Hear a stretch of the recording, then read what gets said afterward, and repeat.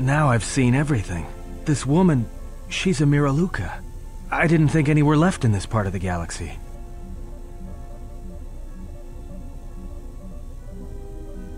I heard they had a colony on the Midrim, almost halfway between Onderon and Dantooine. Then, it wasn't there anymore. The whole planet was wiped out. Nothing left alive. No one knows why.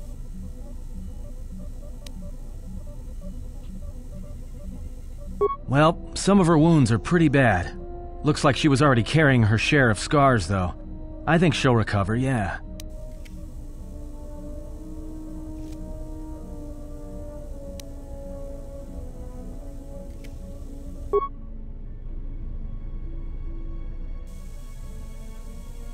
I didn't want to talk about the war, but can I ask you something?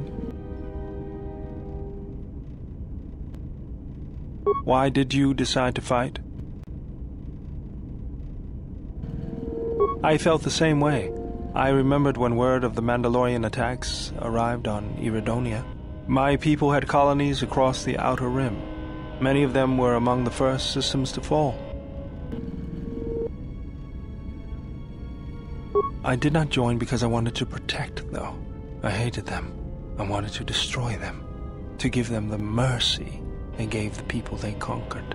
I remember the thrill I felt when we fought them in battle. Victories were rare, but we celebrated every Mandalorian's death. Do you know how it felt?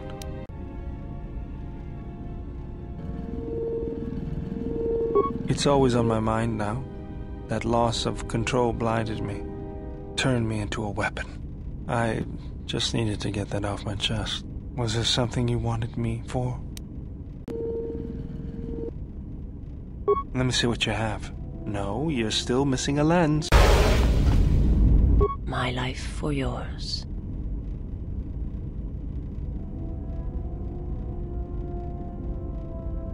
I am able to serve. If we enter battle, I will fight and die alongside you.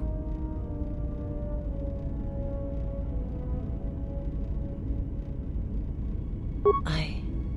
I have not heard that question in some time. My flesh is healed if that's the answer you seek.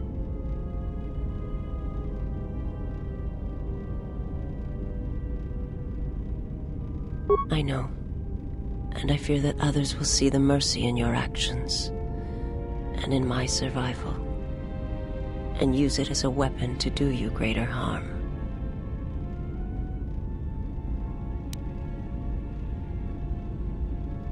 I serve my master. I am an emissary, a scout. My master was aware of a disturbance in the Force, but was unaware of its nature, of you. The disturbance is not something one feels from a living thing. There is little my master does not know.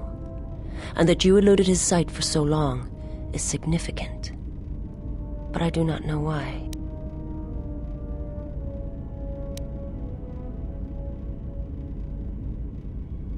You cannot. His vessel roams the borders of known space, and even I do not know where he travels.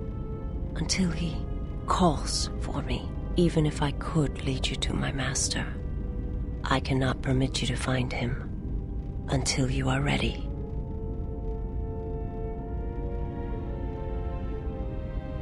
If I bring you before my master untested, without your potential realized, then you will be lost to me. And I cannot allow that to happen. It would be as if one brought fire to a paradise valley, shattered a cavern of rare crystal, or blinded a painter.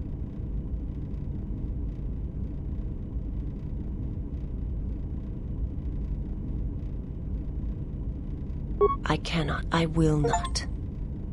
I would die first and gladly to preserve you untouched unharmed now that I have found you.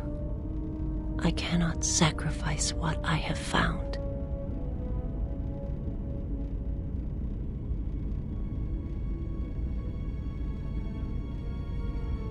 You will meet my master. It is inevitable. I have seen it. And when you stand before him and realize what you face, you must be prepared. Until then, I must protect you, help you, until you are ready.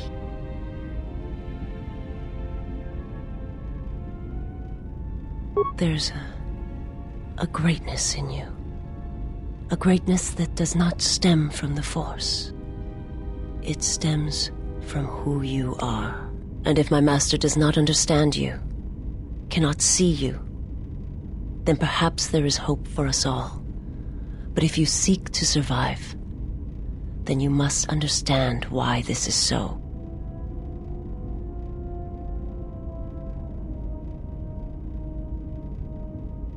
There is much I see my master cannot.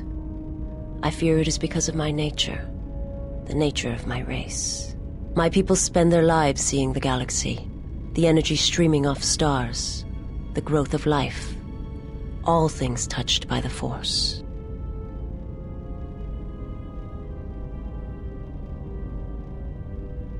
It is not a subject which I have spoken of since its destruction.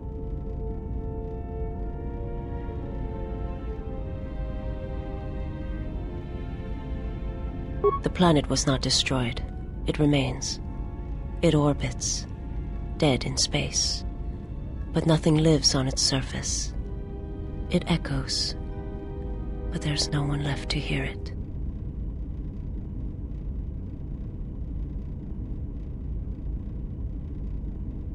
I am not certain I did. I was there when the planet died. To see everything around you extinguished. It was as if I was blinded. It was as if the Force had been bled from the world.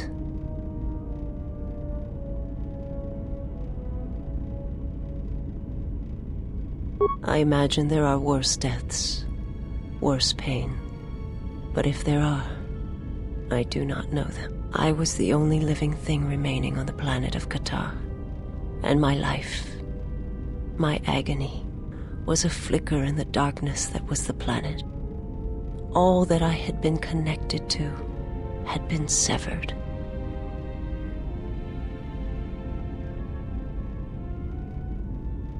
Yes, but it was not survival. I still wonder what would have happened if I had died with the others. If perhaps there would have been some way to hide my presence from the galaxy. If only I had not felt that pain, that loss, as strongly as I did. But it could not be done. When the life was bled from the planet, and yet somehow I remained. My master came for me. He walked upon the surface of my dead world. And there, lying in the bodies of my race, he took me for his own. And he made me see. And for the first time, I saw the galaxy. And I wished to die. To this galaxy, my world, absent the currents and spectrums of the Force, was nothing but crude matter, rock, flesh, emptiness. He showed the flickering of life on other planets. The mass of beings that swarm through the empty places of the galaxy. To see such creatures, disconnected from themselves, their world, their place in it, unable to see the currents and how they affected everything around them.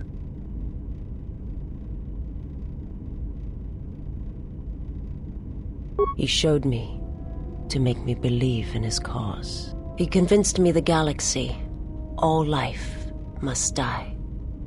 He fed upon its ugliness, its screaming, and in its place, he left silence.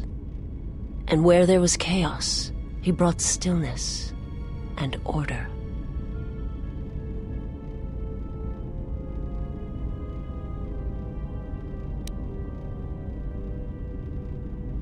The Jedi, the last council of the Jedi, came to our world to meet in secret.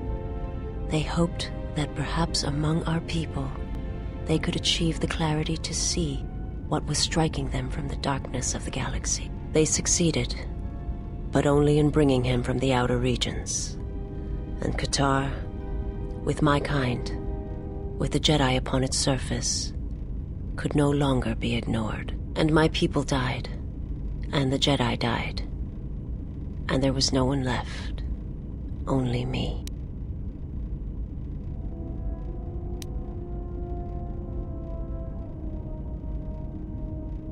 He cannot deny his hunger for long.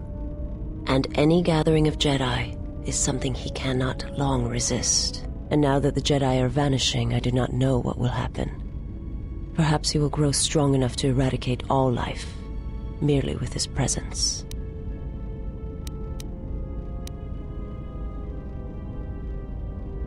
I do not understand what you mean.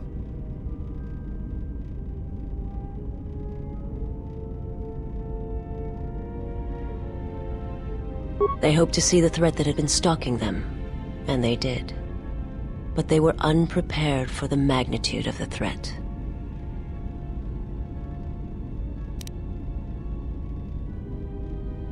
Forgive me, but before you go, I must ask. Why do you do this? Why do you seek to help me? Teach me?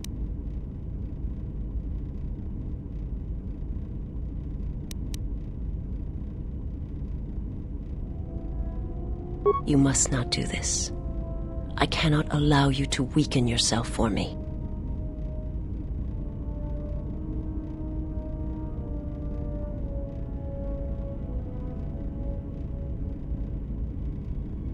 So you say, but it is not something I have observed or seen.